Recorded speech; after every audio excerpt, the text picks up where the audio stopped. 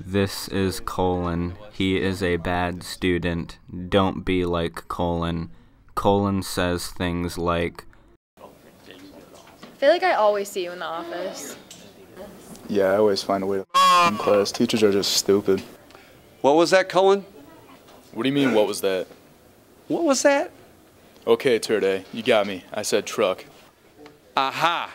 I did hear you say that.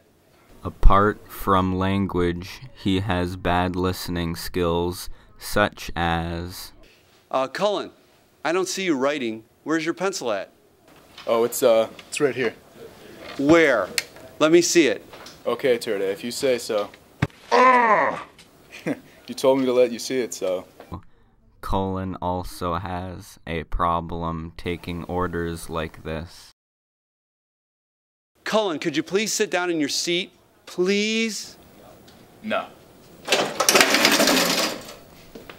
I think Colin needs to work on his listening skills, but that's it for this video. Wait, can you teach me how to ma? Sure, now everybody. Ma! I can't take it.